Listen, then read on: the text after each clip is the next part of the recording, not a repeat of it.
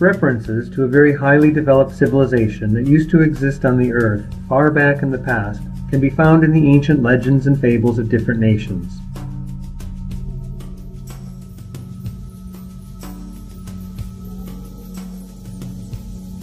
Our remote ancestors called representatives of this civilization gods. God's capacities surpassed human capacities by far. So, the lives of our ancestors were subordinated to the will of powerful gods. Gods established the rules that govern social relations and determine the procedure for the human service of the gods. However, the gods not only ruled the people, they provided people with knowledge in medicine and astronomy, taught people crop farming, livestock husbandry, and pottery. In essence, the entire human civilization was created by gods. Modern academic science classifies the ancient legends and fables as myths, regarding them as fabrications and fantasies of our ancient ancestors. Historians negate a highly developed civilization of gods in the past blankly. Moreover, even discussion of this subject is strictly prohibited among professional historians. Everybody who mentions the god civilization, even as a working hypothesis, jeopardizes his or her scientific career. The situation was entirely different some 150 to 200 years ago. It was legends and fables that served as the main sources of information on the remote past. The sources, viewed by historians as quite reliable, for many hundreds and even thousands of years.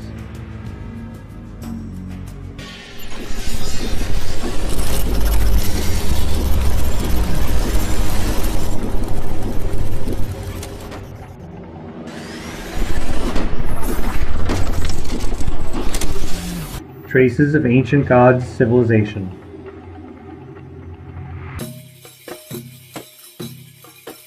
If the topic of an ancient, highly developed civilization is discussed somewhere now, it is only on internet sites and forums, in the so-called alternative books and films that professional historians prefer ignoring. This discussion concerns Egyptian pyramids very frequently, most famously the ones on the Giza Plateau. Some people try to calculate how many workers it would have taken to erect these pyramids. How much time, money, food, and other resources would have been spent on such construction. With the figures at hand, they try to prove that the Egyptians were unable to build these pyramids. Yet others, using the same figures sometimes, argue that the Egyptians were able to do that, and a highly developed civilization of some gods had nothing to do with the construction and nobody manages to convince anybody of anything. The issue has been disputed for almost a century and resembles the infinite run clockwise. Can this run be interrupted? We believe so. For this purpose, we should shift from figures to a very simple logical consideration. The Great Pyramid's weight is estimated at 7 to 8 million tons. The second pyramid on the plateau is a bit smaller. Taken together, the three pyramids weigh about 15 to 20 million tons. However, not only the pyramids were built of large and huge stone blocks in Egypt's antiquity. For instance, there are temples made of blocks weighing dozens and even hundreds of tons on that very Giza plateau. There are temples of stone blocks of considerable dimensions in Karnak and other Egyptian towns there is an area of underground tombs regarded by Egyptologists as mastabas, the ancient Egyptian burial sites of the royal family and top officials. In Abydos, there is a structure called the Osiris Shrine in Ancient Stories that is built of thoroughly worked solid granite boulders.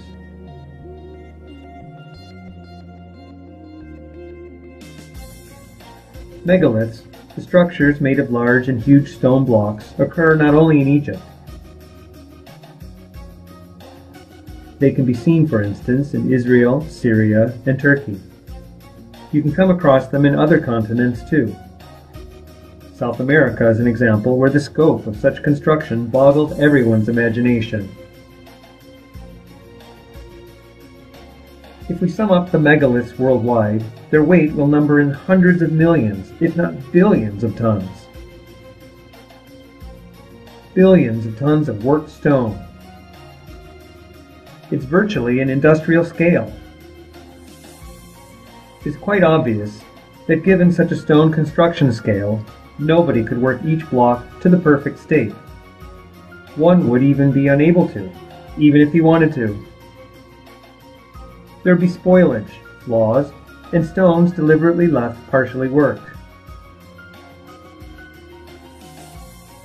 It means marks of the tools used to work the stones would inevitably be left on some blocks.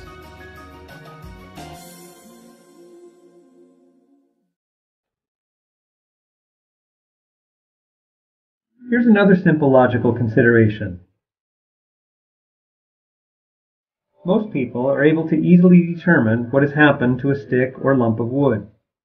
It's been broken with hands, axed, or cut with a knife or saw. Each tool leaves its typical trace.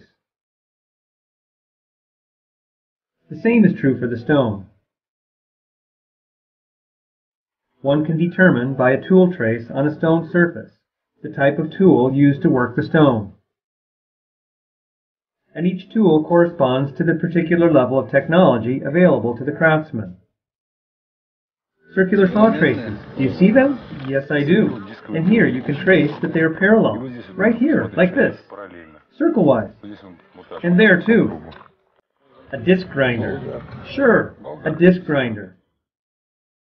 To illustrate, we can examine a black basalt block with two entirely different mark types. These marks relate to two and entirely different levels of technology in use. One part of the block surface is obtained by ordinary material shearing with the simplest tools. For instance, a hammer and a chisel. Due to particular features on the material's crystalline structure, the surface is rather uneven, with noticeable cavities. In addition, it has grown whitish. The other part of the same block has a well-polished, darker surface, which is typical of machine processing of stone.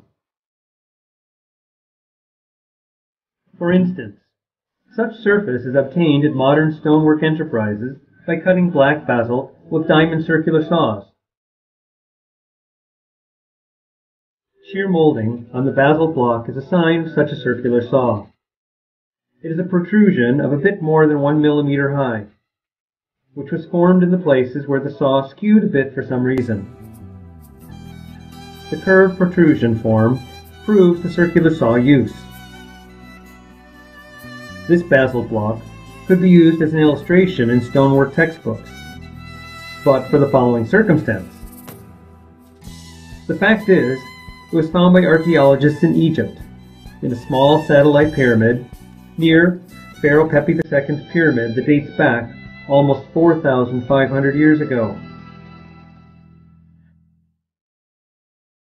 Historians believe machine production was not in use in the period under Pepi II, nor earlier. Ancient Egyptians had the simplest tools and technologies at their disposal. Their manifestation is the shear block part only.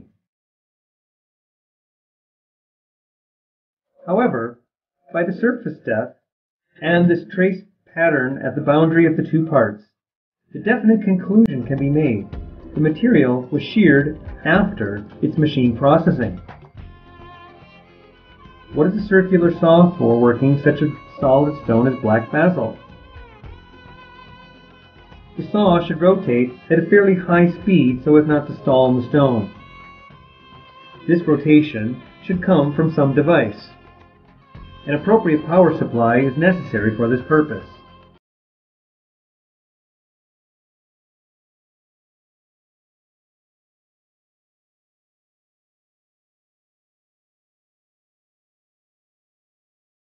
From the friction in the working area. That's why modern saws are made of very durable steel grades. Stone is cut with solid diamond nozzles, and the working area is cooled constantly by a water flow.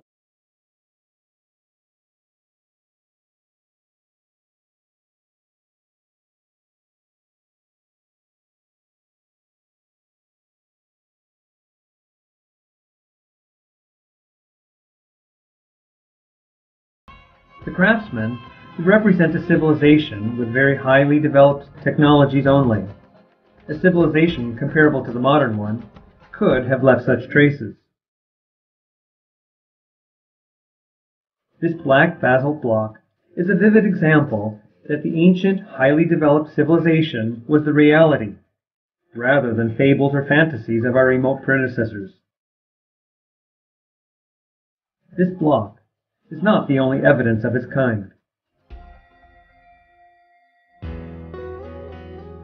A group of Russian enthusiasts has been looking for such ancient artifacts for 10 years already. Under the auspices of the Third Millennium Science Development Foundation, they've conducted a number of expeditions to different countries of the world. The Egyptian stone traces of the machine work in high antiquity have been known for a rather long time. Sir Flinders Petrie studied them 100 years ago, having discovered them on a granite sarcophagus in the Great Pyramid. As early as then, Petrie was surprised by the trace parameters corresponding to the equipment that surpassed the then modern equipment by thousands of times. Egyptologists recognized Flinders Petrie's achievements in measuring geometrical and geodesic parameters of the pyramids. However, they maintained a wall of silence on his conclusions about the marks of instruments. One cannot find what Petrie wrote on the subject in any textbooks or academic editions. So Flinders Petrie has remained the first and only academic science representative who studied the issue. Meanwhile, any tourist who visits the Giza Plateau is able to see the traces of ancient machine working. Just take a closer look at the blocks that the temple floor near the Great Pyramid is made of. The archaeologists who restored that floor a century ago did it professionally. They made the stones with the traces of instruments easily accessible for study by having placed them along the perimeter. By the way, the trace runs even lower here. Can you see? They cut it like this. And then, by the way, this trace resembles the disc grinder even more. No doubt, a disc grinder was applied here. Some of these marks might have been left by a primitive saw in the case of manual sawing. The others, obviously, relate to some machinery. Many traces look just like a side effect. For instance, there's a block that a craftsman left two deep cuts on.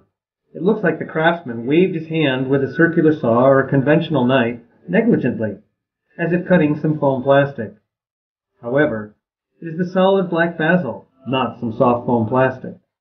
And it takes fixed modern machinery to leave such traces. They cut incidentally, just in passing, here and there. The point is, they made one cut, then the second cut. They did what they wanted. All traces here seem to be casual. It's strange. All of them are made by chance. In general, all traces we saw in Peru and elsewhere look incidental. A circular saw, of a bit less than 50 centimeters in diameter, left its mark on a black basalt block of a temple floor near the pyramid of Userkaf in Saqqara.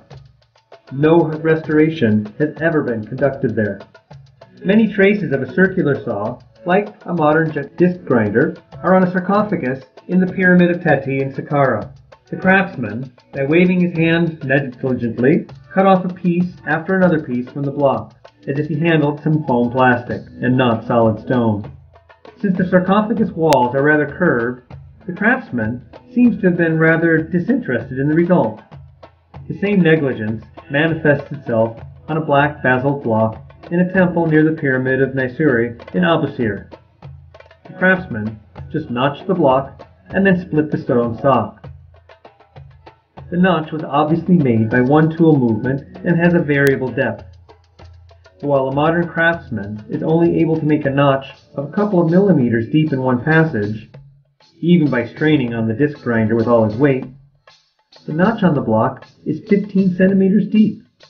That is to say, a hundred times greater. Making a notch with the subsequent splitting of a block part can be seen on the pink peripheral gate sealing the siren, in that very building believed to be Osiris's shrine. The lower polished block part corresponds to machine working. If they had used a flat saw, it should have been some 10 meters long.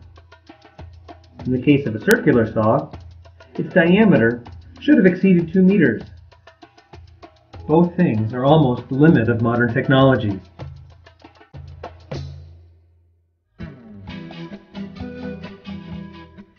Machinery traces can be found not only in Egypt. There's a famous fortress of Sacsayhuaman near Cusco, the ancient capital of the Incan Empire. Its zigzag walls are made of blocks, some of which weigh over 300 tons, but are fitted almost perfectly with each other, despite a very complex form of side surfaces. Opposite this zigzag wall, there's a dioritic rocky outlet used by local children and tourists as a natural slide. Not far from this entertainment site, we can see a small cut in the rock, where a circular saw of almost 50 centimeters in diameter left several traces. Excellent traces of a round cutter. Here's one trace, here's the second, and here's even the third one. Here, I think, we can measure the cutting edge width in millimeters. How wide is it? Some 3 millimeters? Yes, 2 or 3 millimeters. 2 or 3 millimeters. Looks very much like what we saw in Egypt and in Greece. The edge width in Greece is 2 to 3 millimeters too. There's a notch in the same rock, a bit aside. It is 1 or 2 centimeters deep and some 10 odd meters long. Show me this. I'll take a picture with your fingers. Here it runs.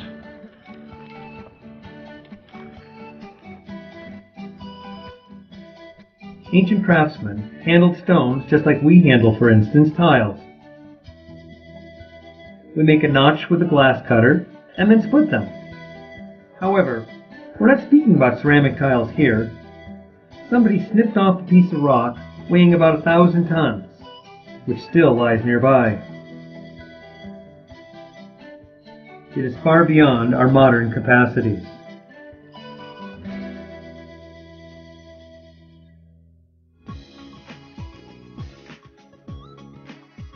There's the ancient capital of the Hittite Empire, Hattusa, in the central part of contemporary Turkey. The oldest premises of a local temple are found on a black basalt block that is virtually worked with machinery on all sides.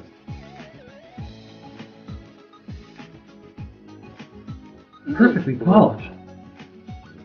They must have been sawing at a high speed, at a great speed. It's like a mirror. Measurements of the parameters of the most distinct circular saw traces suggest that the saw was a bit less than the 2 meters in diameter. Our modern industry has stationary equipment with such saws. Hattusa is believed to have been founded 4,000 years ago. However, Hittite legends have it that this town emerged on the site of a much more ancient settlement. Active archaeological surveys began in the village of Alaca in Turkey not so long ago. When digging on the royal palace site, archaeologists discovered a small black basalt block notched on different sides for some reason. Through particular features of the cutting tool traces, we can unambiguously conclude a small circular saw was applied here. The ancient craftsman held it in his hands, just like we hold a modern disc grinder. It's machinery too.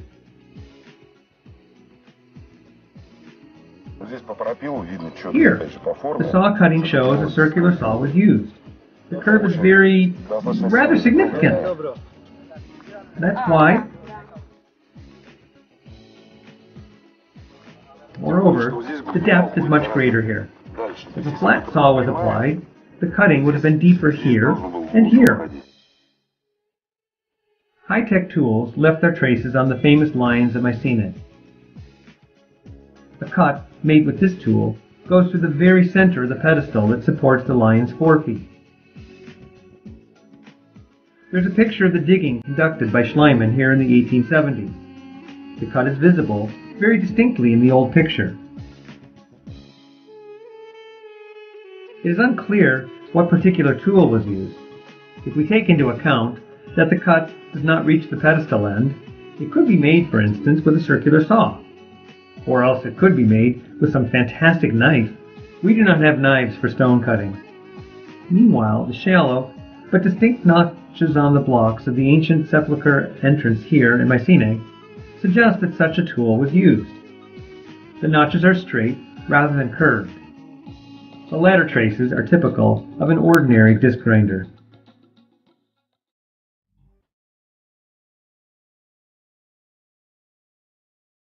Millions of tourists visit the Karnak temples in Egypt every year. Virtually all of them pass through the two granite gate stands in the central walkway of the facility, in its most ancient part.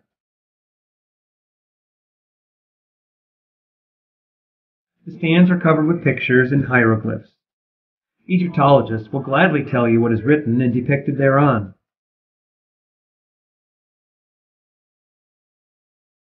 However, none of them takes note of the decorative vertical cuts throughout the length of the stands. These cuts could not be made with any primitive tools. The cut contour is V-shaped. In the deepest part, the cut width is less than one-tenth of a millimeter. Look at this place. This end is so thin. Its width is almost zero. Have you put your hand? It's just superb. Not only do we lack such tools, with such tiny thickness, no modern material can withstand the tool loads that occur. Even the thinnest plate diamond threads used in jewelry making now are seven times as thick. Here, we do not have the jewelry scale. The cut passes throughout the stands of five meter high gates. We have the impression that the ancient craftsman made the cut in a single movement. Where his hand traveled once, the cut deviated. Here's a cut. Do you see how thin it is?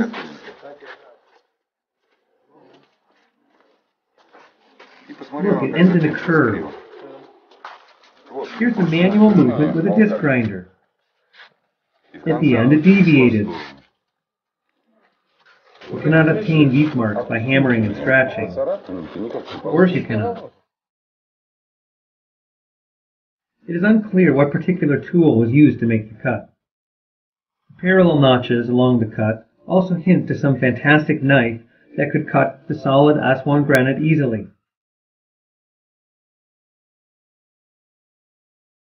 The study of these notches with a microscope proves their depth is the same in both the solid quartz crystals and the soft feldspar. It's typical of machinery.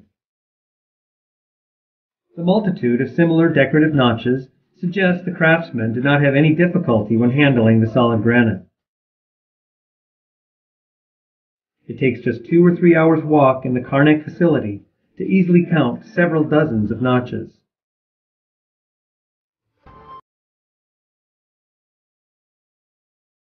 The cut goes into the stone depth there. It looks like it missed the path and passed by here. There is a cylindrical cavity, the size of a barrel, a bit less than one meter in diameter, in a pylon of the granite block ceiling in Karnak. The equipment for making such holes in granite did not appear until late in the 20th century.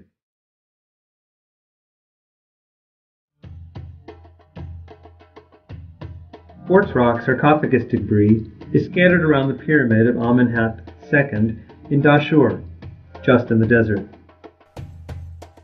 Egyptologists have an abundance of intact sarcophagi. so they have not even paid attention to the debris. However, it takes very high-tech equipment to make the sarcophagus with three-edged internal angles. They cannot be made even using conventional stoneworking tools. The latter would leave rounded angles, and there are no curved lines here. Laser equipment experts assert that such internal angles can be made with a modern laser.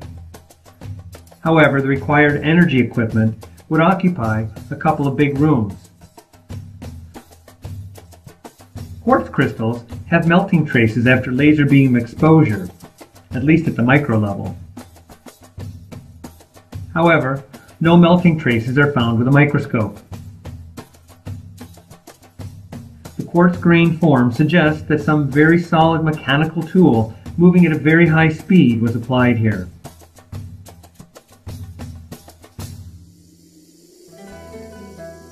The famous structure of Pumapunku at the Tiahuanaco facility in modern Bolivia abounds in similar three-edged angles.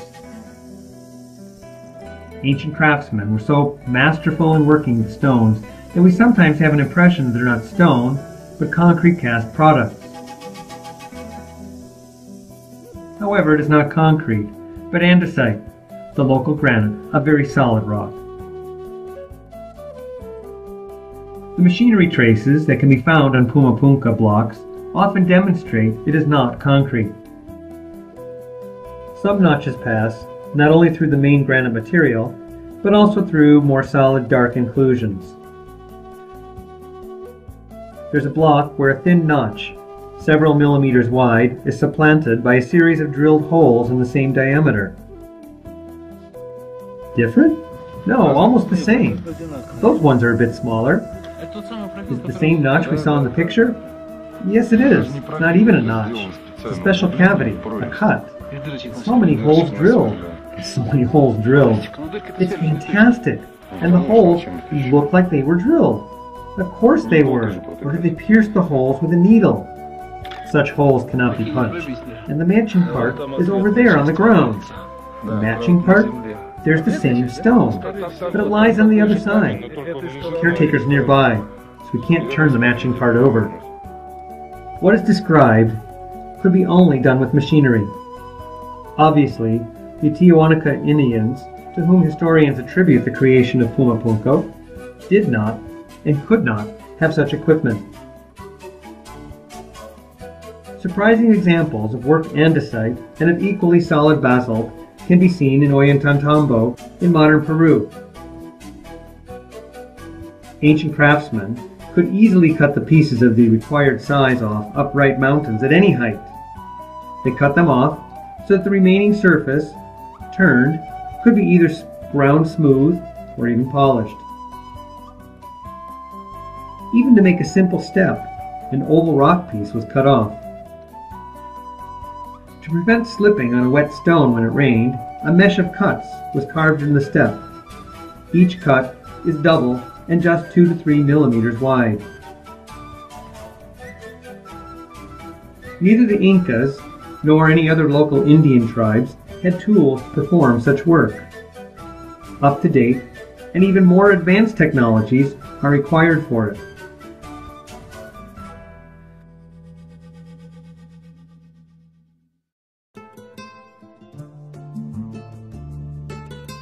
The signs of high-tech equipment use can be found not only on stone blocks of megalithic structures, but also on small ancient artifacts.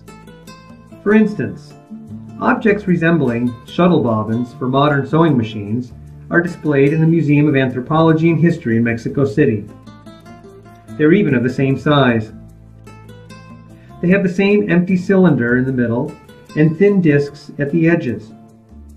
These shuttle bobbins were found at ancient Indian burial sites. They're made of pitchstone, the volcanic glass. Pitchstone can be split easily. Its property has been used since ancient times to manufacture different tools. But it is impossible to obtain the proper shuttle bobbin shape by cleaving. It takes a turning machine with a very solid cutter to manufacture the shuttle bobbins. Mesoamerican Indians did not have any turning machines. They did not even have a potter's wheel. However, we can see similar shuttle bobbins made of rock crystal on the neighboring museum shelves. It takes not just a turning machine, but diamond cutters to make them. There are other objects similar to shuttle bobbins, but of greater diameter, that are on display in the Museum of Mexico's Oaxaca. There is something like a collar for some machine in the Tula Museum. All of these objects are also made of obsidian. One could not make them without a turning machine when making them.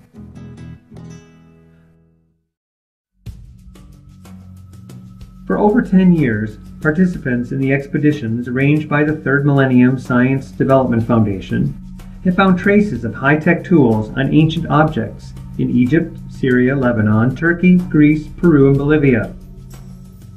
Signs of highly developed technologies have also been discovered in Mexico, Ethiopia, Israel, Armenia, Japan, and on Easter Island. Quantity of discovered ancient items with the traces of technology comparable to, and even surpassing the modern level, has long numbered in the thousands.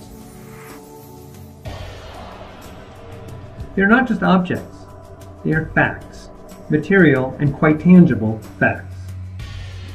So, a highly developed civilization's existence dispute can be deemed finished.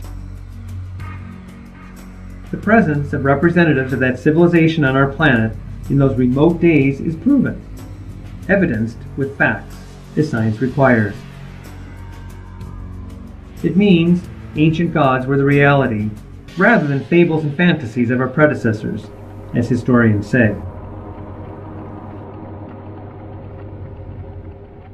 Yet, the gods were not supernatural beings, but representatives of a very highly developed civilization with capabilities that exceeded those of our predecessors by far. The reality of ancient gods, stripped of their mystic halos, eliminates the main mythological contradiction. ancient legends and tales resume the status of a sort of chronicle of actual events. The chronicle turns out to be supported with quite substantial evidence, not only the existence of gods.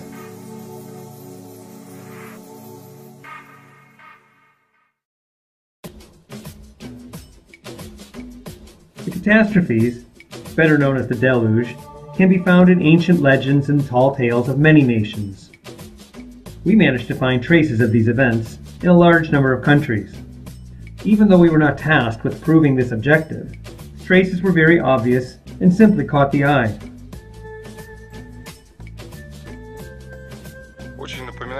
Looks like the consequences of a mud flow, when mud and clay mix with stones and flow like an avalanche. Everything is covered with this rock here, Besides pure rocks, where formations are consolidated, there are many loose rocks. I can disassemble them by hand. With a flood wave, it first covered South America and then flew back to the ocean. And all such rubbish was carried away from the mountains. The rubbish was deposited here and got dried. It was in this way that the Nazca Plateau and the Palpa Plateau were formed. That's why they are so flat. An even platform appeared on which pictures could be drawn. We managed to find pre-deluge objects. The pyramid of Cholula in Mexico is buried under a thick clay layer. The Ollantaytambo facility in Peru has the traces of destruction by a powerful water flow that passed through the Urubamba Valley against the current of this river. The Göbekli Tepe settlement in Turkey is covered with a thick layer of mud flow deposits. If we combine real facts, information from ancient legends, and modern data of archaeology, geology, and other sciences, we can restore the picture of the global catastrophe that occurred some 12,500 years ago, down to details.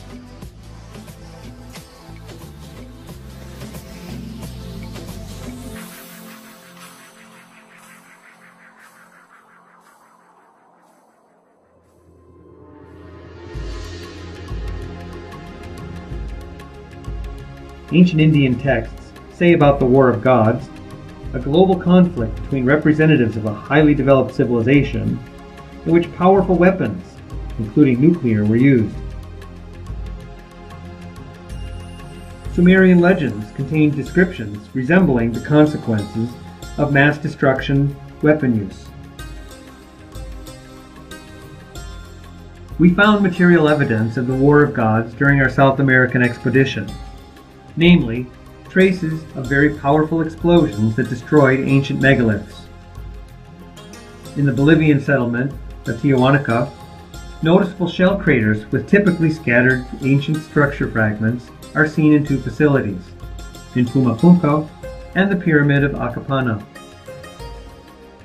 Similar large-scale destruction is visible in Sillustani and Kingu in Peru. In the archaeological area with the fortress of Sacsayhuaman, there are fragments of a temple carved into the monolithic cliff. Huge cliff pieces weighing hundreds of tons were torn by some strong force from the base, boosted into the air, and then thrown to the ground hit and miss. The temple fragments lie on their sides or upside down.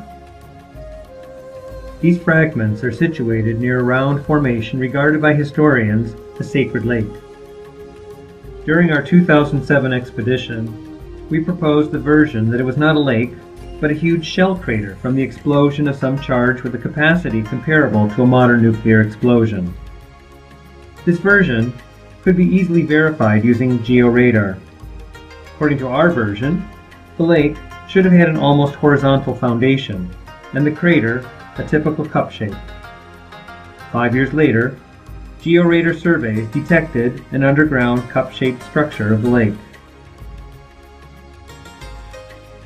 Thus, the fact confirmed even those ancient legends and fables that seemed absolutely fantastic at first glance. These facts indicate the modern view of ancient history should change, and rather drastically.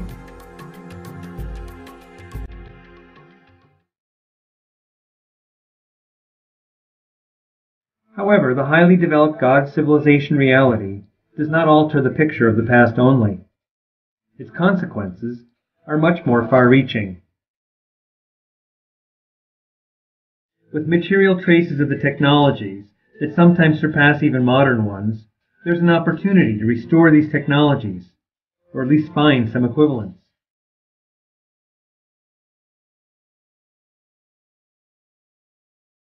These technologies may accelerate the development of our own civilization.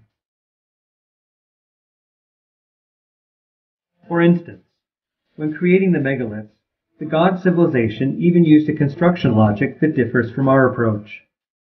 First of all, we prepare an even ground and even dig a construction pit. The god civilization used particular terrain features. For instance, some Egyptian pyramids rest on rocks that were just shaped as steps. The stonework of ancient structures in South America often fits into surrounding rocks. Not only do such solutions help save construction materials, but they also enhance seismic stability of a structure considerably. In case of an earthquake, the stonework moves together with a cliff, like a single whole.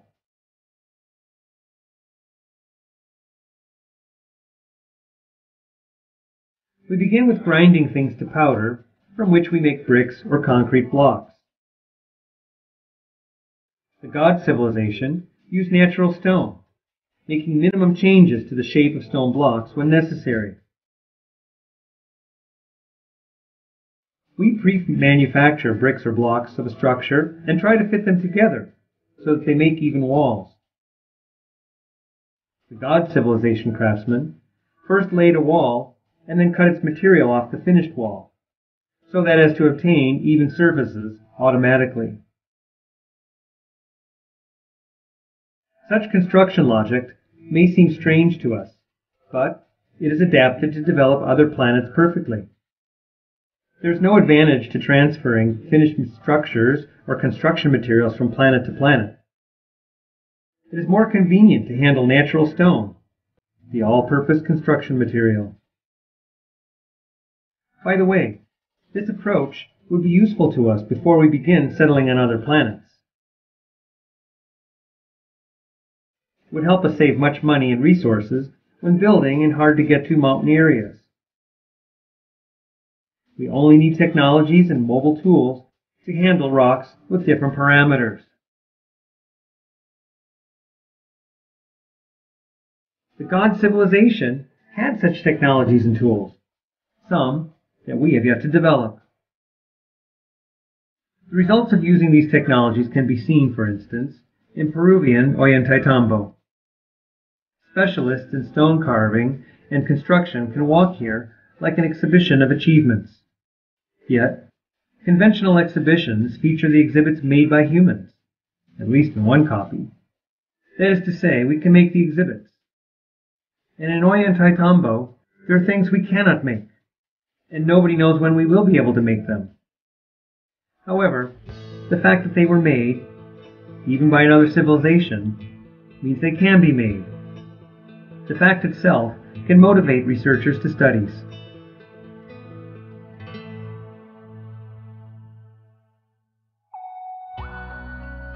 How to look for unknown technologies? One simple consideration can be helpful here. Any tool for processing stones, especially solid rocks, gets chewed up and worn. Small particles of the tool may get stuck in tiny stone surface irregularities. With these micro-inclusions, one can try to determine the material the tool was made of. Laboratory tests of the samples taken at ancient facilities suggest such micro-inclusions in the form of minor particles and even metal chips do remain on stone surfaces for a fairly long period of time. The chemical analysis sometimes shows such alloys that could not be obtained by primitive methods. For instance, there is a semi-worked granite boulder weighing 800 tons on a hill slope in the Asuka Park in Japan. When the boulder surface samples were analyzed, alloy microparticles of copper, iron, nickel, and cobalt were found. The nickel and cobalt contents exceeded their typical contents in mixed natural materials. Of particular importance is the presence of cobalt that is currently used in high-tech industries, including for manufacturing of high-duty tools. Unfortunately, the micro-inclusions are very small. So far, their qualitative composition has been discovered only. Meanwhile, there's an opportunity to get down to their quantitative analysis, which may lead us to the alloys and the secrets of the gods' civilization metallurgy. Legends and fables of different nations hold that the gods gave metallurgy to humans.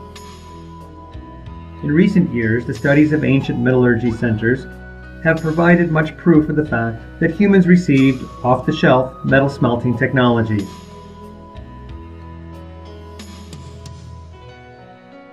Moreover, ancient metallic artifacts sometimes contain alloys so strange that certain finds may well prove to be products of the gods themselves. Studying these products can also provide us with an insight into technological secrets of this highly developed civilization.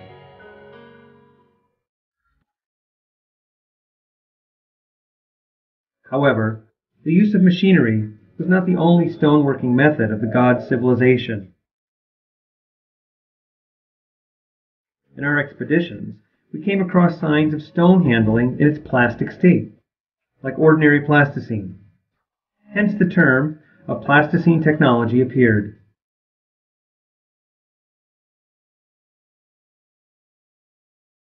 For instance, there's a granite block, two parts of which have noticeably different surface colors in Ollantaytambo. The upper part is as if covered with a yellow tarnish.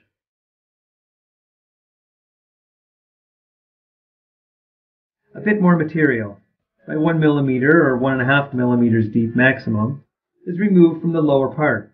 The curious thing about this is, if you put your hand on the stone part, where more material is removed, and pass your hand along the boundary of the two parts, so that your fingertips are precisely on the boundary, you move absolutely naturally.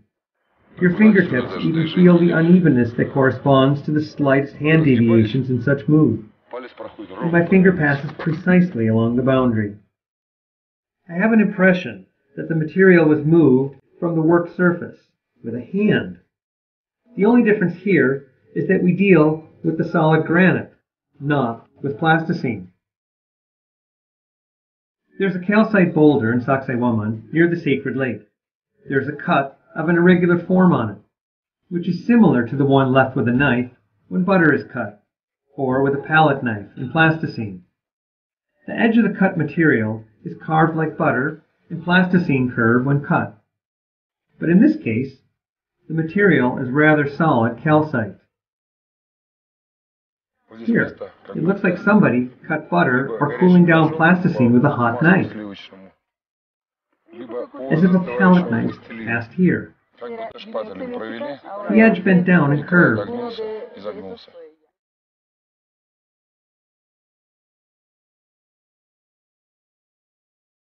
Some structures in Machu Picchu demonstrate handling of solid granite so skillful that we have an impression that the stone was worked in its plastic state.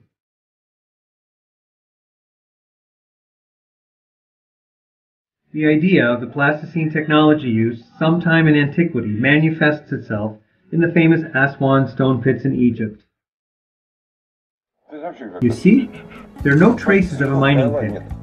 The traces must have been left, but they're nowhere. Absolutely nowhere.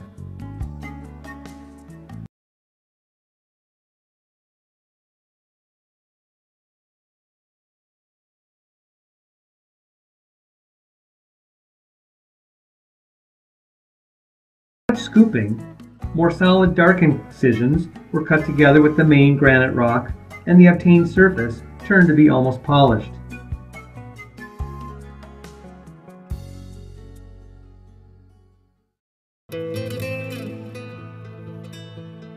The plasticine technology remained an attractive but still fantastic hypothesis for a very long time. In 2013, during the expedition to Easter Island, Several blocks with very strange traces were found in the stonework of a platform. It looked like someone moved a finger on soft plasticine, rather than the solid stone. Particular features of the traces are typical of work with a plastic material. In some cases, the nature of these traces enable us to reconstruct even their application procedure. Where two lines intersect, one can see that the material is displaced in the direction of the later line. The Easter Island platform eliminates all doubt. The god civilization actually mastered the technology, whereby stone, or its upper layer, was first transformed into a plastic state, then processed, and then solidified.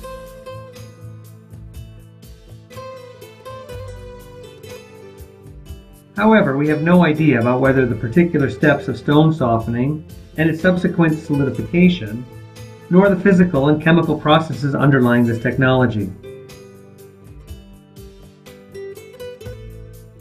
Natural stone cannot be transformed into a plastic state by simple heating. Granite, exposed to the air, just burns down, and calcite decomposes. As for chemical etching, its effect is irreversible at best, and the exposed stone loses its initial properties. The ideas about stone softening with modulated ultrasound or high frequency electromagnetic impulses have become more and more popular recently. However, they need to be verified and thoroughly studied. In the mid 20th century, Bovis, a French scientist, paid attention to the fact that dead bats neither decayed nor putrefied in Egyptian pyramids, but mummified. Interested in this phenomenon, Bovis held a whole number of experiments to test the pyramid's impact on different objects. Many enthusiasts followed his example, and the term of pyramid effect is common knowledge now. It defines the pyramidal structure's impact on biological objects, physical, and chemical processes. Unfortunately, the overwhelming majority of these experiments were conducted improperly, so a whole number of investigators' claims have not been confirmed. we have to verify everything. However, we can state a pyramid may and does influence different processes. The nature of this impact is unknown to us. Furthermore, it does not fit into modern scientific knowledge, as it is the pyramid shape that produces the impact. Nonetheless, this impact is recorded in experiments. For instance, geophysical studies suggest pyramids increase the seismic amplitude somehow. To illustrate, the seismic noise amplitude at the top of even a small pyramid is by 10 times greater than it is at the pyramid bottom. A pyramid operates like a huge lens in this case. Polarized radiation was registered near the Giza Plateau pyramids. Obviously, this polarization is directly related to the pyramids. Experiments with semiconductor noises suggest the Egyptian pyramids produce some impact even at the atomic level. We managed to conduct a series of the simplest biological experiments. Seeds of ordinary peas were placed in a pyramid for some time and then sprouted and compared with a reference group.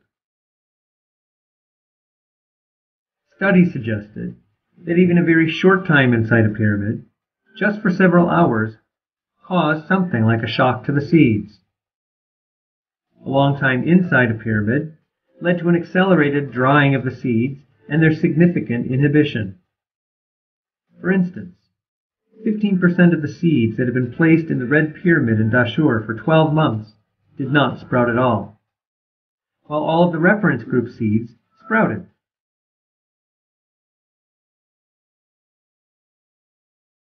Similar experiments were conducted in a small copy of the Great Pyramid in Fryazino, Moscow region.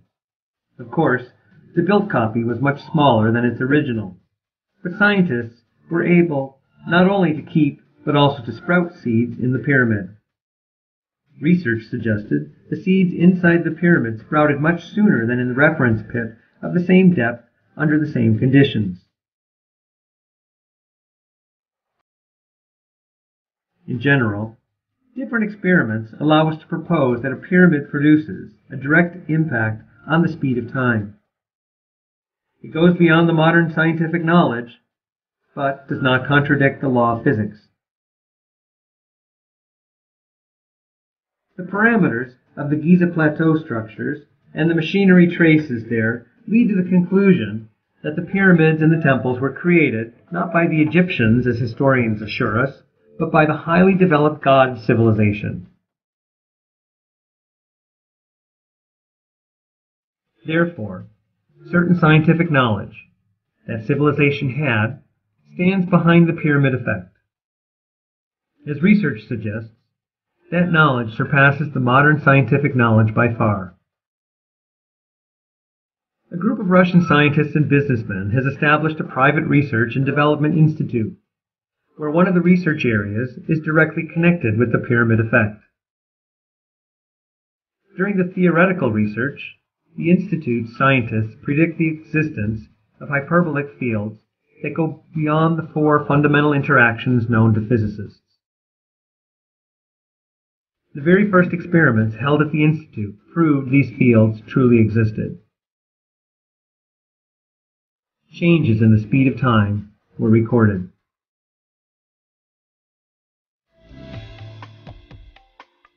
To summarize, the reality of the ancient civilization not only makes us rewrite history, but also enables us to develop our technology and scientific knowledge. By studying ancient artifacts from that point of view, we can transform history from the science that just describes the past into the science that helps build the future. Whether or not we use this unique chance depends on us only.